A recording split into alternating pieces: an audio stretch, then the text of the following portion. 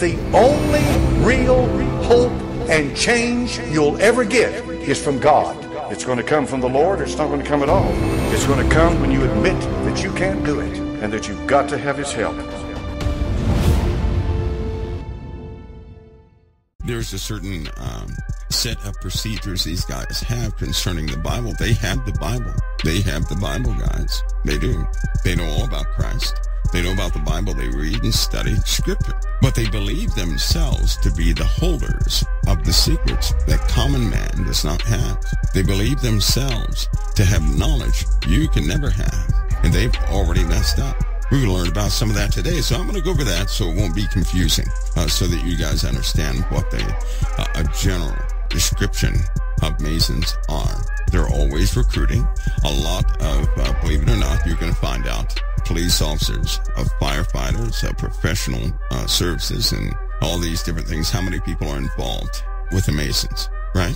Now, for your safety and mine, well, basically for your safety, so that you don't get involved in some altercation of a total different type, we're just going to cover the basics so that you have an understanding of what these guys are doing and the influence they have upon you right now. They have it in their dockets about the flat earth. Do you guys know that?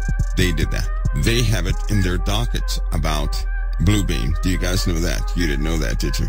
They do. And sometimes when you know this and you hear people talking, see, there are good people out there, good people out there, but they have information that seems like it's absolutely on the money, but it's not. This world is a very sticky place, and sometimes you can hold a truth defined in a very specific way, and then it becomes a lie, but you'll believe in that lie absolutely because it's plausible. Bluebeam is one of those things. Project Bluebeam, what people refer to as Project Bluebeam. I'm going to show you something on that too, so so that you can understand something. Because wouldn't it be a shame if people actually believed that an event was Bluebeam, but it was for real? Wouldn't it be a shame? You have folks that argue over a flat Earth or round Earth which is, in my opinion, is a big waste of time. It is. It's a waste of time because knowing the shape of the earth is not going to help nor hinder you. It's not. A lot of people, they already know something is wrong with the world and they act on that. The problem is these higher ups understand that people act on those things and so they give them something. They give them a tool to rebel against. They know people are talking about the flat earth. They know people are talking about different subjects. They know all of it and they're feeding it. Why? Because they understand that people they have discernment, a natural God-given discernment. They know something is wrong in this world. They know something is not being presented as, as the way it really is. And so they give them something to fill that, that craving to understand what the world is, is wrong, who's lying. In all societies, you're always going to have someone who's lying. And so they give them the liar. That also is part of a ritual that they do that they have the world deceived by. So when people take these stories and embrace them thinking they have information against, you know, these higher ups, these people who are in charge. They're laughing at them because they know it's not going to impact their lives. See, see a person in prison, they're locked in prison falsely, but they're behind bars. And so this person says, you know what? This jail is corrupted, right? It's corrupted. These people are corrupted. And so after five years, this person is still talking about how the jail is corrupted. If they're going to give this person, you know, what is corrupted, and guess what that does? It satisfies a person to know what is corrupted, and that person will go tell others. Here's the point though, they're still behind bars. They'll never be free that way. Do you all see that? They'll never be free. So they give people arguments. This is something that the CIA does. They'll plant stories. People adopt these stories and they tear down entire nations this way. If the CIA or the USA does not like a specific president, you better believe they're going to interfere with the people. They're going to give the people something to start tearing down society. So you got to be careful these days. That's why it's good to be spiritually minded so that you have the actual truth, so that you can look through lies, so that you can look through these deceits. And what people carry on the internet most often are just counterintelligence conversations. They're not really aware of the origins of that stuff. See, because it's not about knowing exactly what's going on. No. Because a guy in a prison, is it going to matter when he's locked behind bars if he understands if it's a flat earth or not? No, it isn't. He's still going to be behind bars. But he doesn't know this. He's That's a comfort to him. Listen to me, folks. It's a comfort to somebody who's incarcerated to think that they have a truth over the heads of their jailers. It's a comfort. They think they have the upper hand, but do they have the upper hand if they're locked up? No, they don't. They're still locked up. Do you guys get that? That person can come up with everything behind bars, but they're still behind bars. So what does that person actually need? If he's innocent, that person needs to be freed, not to have the goods of their jailers. But in order to get that person to calm down, to accept their conditions in a rebellious way, they plant a story. They give them a story. So that person will sit in that jail cell with a smile, thinking that they have the goods over the jailers. Now they don't complain about being jailed. Now they're talking about the jailers doing crooked things. And they're, they're going to spend years convincing everybody else of this, but they're still locked behind bars. It has nothing to do with freedom. It's an illusion of freedom to give people ammunition to believe in, to think that they have something with the heads of somebody else. And all the while they're doing this, they're still behind bars. That same thing is happening now. People are oppressed. They're not making changes in the White House. They're not making changes in policy. They're just spreading stories about what they know as a lie or what they know as a truth. And they're sitting back affecting zero, no change, talking about what they are armed with. Oh, we've got the goods on President Biden. But they're not doing anything because he's still President Biden. Or we got the goods on Trump, but they're not doing anything. Or we got the goods on, on Bill Clinton, but they're, well, somebody did something there, right? But do you guys understand that? So if you give a person theater, that's all it is. It's theater. You give a person theater, they're going to be entertained. And every time a person is entertained, they stop complaining. Every time a person is entertained, they stop plotting to be free. They sit back and they immerse themselves in the entertainment. That's what's happened to just about everybody on this planet. They have become complicit with their conditions. They can sit back and complain all day, but they're complaining within what's being shown to them. You all see that? So there's no change whatsoever. Zero change, yet everybody has the truth. Isn't that funny? They all have the truth, but no one is making change. Don't let them do you like that. That's what's happening. Don't let them do you. See, once you can brag, if, for example, this, this alien stuff, right? Suppose you have the truth about aliens. Okay, then what? What's going to be next? A lot of people say, well, if we know the truth about aliens, we can have zero point energy. No, you can't. You just, just not going to work that way. It's not going to happen that way. You see that? Don't let them do you like that. That's when you have to realign your life for those things that matter. Now, I'll tell you this. There's something about you that Satan goes much further on because he can't afford for you to be free. Somebody says, what does Mike mean that they have the goods on Biden? That's what people say every single day, don't they? They have the goods on Biden. They have the goods on Trump. They have the goods on Bush. They have the goods on all the presidents. Yet they're doing absolutely zero. Nothing. Nothing changes is my point. Nothing changes. We've, how many presidents have we had that said, and everybody believed they were going to change the world. The world is getting worse and worse and worse and worse and worse. We still have the same problems we had a hundred years ago. That is not advancement. The only thing that we have are new toys and better transportation, new materials. That's it. So the quality of life has gone up just a tad, which has truly made people a lot lazier because now we face health problems because the human body is not made to sit for hours at a time. It's not. So we're like frogs being slowly boiled, but we think we have the upper hand. And we'll think that way until we die. People die in that condition having done nothing in their lifetime, having affected no change in their lifetime. The Bible says forever learning and never coming to the knowledge of the truth. Because when you have the truth, guess what? Change is with truth. Change is never absent truth. Things start to alter when you have the real truth. Now, if I told you that this printer paper was white, that is the truth. If you have that truth, that's not going to go far. Why? Because that truth comes from something that man did. You don't want man's truth. You want the truth. about this truth. You have authority over every single spirit that would ever dare come to this planet or rise up from inside the planet or come down to the planet. You have absolute authority over them in the name of Jesus. It's just like these people who get, who undergo these abduction things, right? Until they find out they have authority in the name of Jesus. And they say, wait a minute, if that's a, because they were convinced it was a powerful reptilian alien until they rebuked it. There are stories about people who have had these encounters in the woods with these unknown creatures they call reptilians. And when they mention the name of Jesus, these things start screeching and running for their lives. Now, come on now. They didn't know that. We're talking about a physical being that takes off and runs and breaks trees and everything else as it's yelping and running off simply because you evoked the name of Jesus. See, people don't know who they are. And if you believe the world, you're brainwashed into believing what you're not. The Lord will tell you what you are because you are one of his.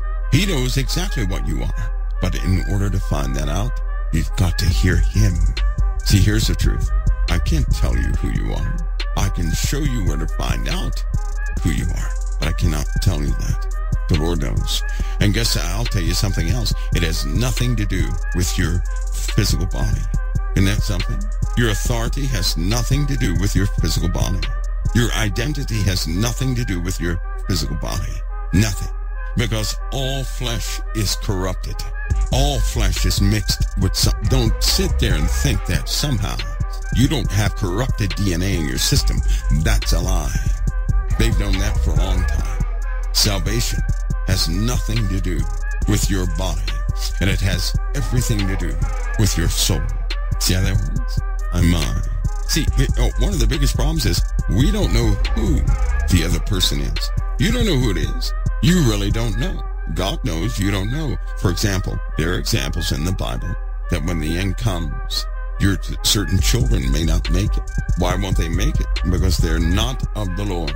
The spouse, one of the spouses may not make it. Why? Because they're not of the Lord.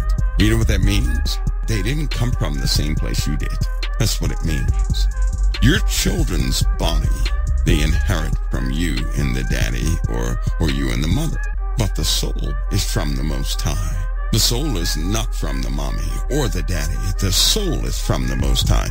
And you are not your body. You are not your body. Your body is going to return to the dust unless the Lord comes and you be changed. Christ did not die on the cross so that your body can be perfected. No, you have a new vessel. There's a new heaven and a new earth. All things are new. They're uncorrupted. That's a whole nother realm, whole nother dimension, whole nother place of reality. In the Old Testament, God told his people not to intermingle with certain tribes. Why did he say that? Because they were mixed with the Nephilim. You may not know this, but through this DNA collection that we talked about here at COT in 2010, and I, I only mentioned that a couple of times, that they were doing DNA collection, and then I left that alone because it, people could not hear it. They were doing DNA collection. They wanted people's DNA because they're looking for specific DNA, right? Specific DNA from certain types of people so they can do whatever they do. It's kind of like recruitment. The military will go to certain colleges and they look for people with certain traits. And they want to get that, right? They want to get those people with certain traits to work with them. They do this all the time. They have collected everybody's DNA. It's been stored on a computer. It has. So they have your DNA. They have my DNA. And if you didn't give up your DNA, somebody in your family line did. Somebody you dated did. One thing you don't know, when you date someone and you're intimate with that person, there's an exchange of DNA. Did you know that? And the woman collects all DNA. Ladies, everybody you're ever intimate with, you carry the DNA of that individual. No wonder God said, don't fornicate. No wonder he said, don't commit adultery. Because you take on the characteristics of everybody you've ever been with. And now you have to fight that. No wonder people don't know who they are. These people, they have your DNA. That DNA is cataloged. You don't have to pierce the skin to get the DNA anymore either. They have better methods. So they have everybody's DNA because they're looking for certain markers. Why? Because you're going to give people opportunities, right? They'll rig it to where they give people special opportunities. They know what to say to you to trigger you. You have traits in your DNA or instructions. Those instructions can tell a person that you have a high probability to respond to certain things. And so they use those certain things to call people forward of specific types. They develop things and drop them all over our heads. And they only work on people with certain DNA. You guys know about the um, uh, mosquito tests that were done in the USA, don't you? Back in the uh, 70s, back in the 60s and 70s and 80s. You know about that. And they these mosquitoes were injected with a certain type of, let's say, a, a cocktail that was only going to affect a specific type of person with a certain amount of melanin. It wasn't going to affect everybody. And so at that point, they had, they had hospitals and doctors and everybody else. If they had a patient that came in with specific symptoms, they were to call certain offices. They were to alert these offices that, hey, we got a person with the symptoms you have described, and they will check and say, okay. Now they use that information to see what works and what does not. That's what they do. So when you get sick out of the blue and go to the hospital, right? Just by way of the symptoms, they already know what you have. Half of the sicknesses in this world are done that way. Common cold, sent up. They've taught people, well, the common cold is everywhere and this, that, and the other. And people actually believe that. That would be okay um, until you stumble across a catalog of common colds in some classified uh, document. Why would a common cold be in a classified document marked with a very special symbol that people know who've been to NBC school? Nuclear, biological, chemical school. When they've been there, they know about the insignias. They know about the special markings. So they want to see what works with people.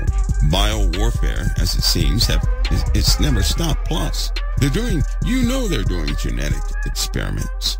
Come on. Sometimes we can be, become naive. Why? Because there's a form that says they're not supposed to do that, and we start believing it. Well, no, they can't do that because this form says they are not supposed to do that, so they can't do that. That's not happening. That's how people live their lives. They'll sit there and read something, and they'll say, well, they can't do that. Well, what makes you say that? Because it's on that form. They can't do that. And people walk around like everything is okay. That's how the devil gets people. That's how Lucifer gets people. That's how Case Rock gets people. That's how Beelzebub gets people. Just the same way. They'll say, well, no, that, you know, that was that guy. That wasn't the devil. That was that guy. Not understanding that that guy was influenced. It is not within man to take a step by himself or on his own.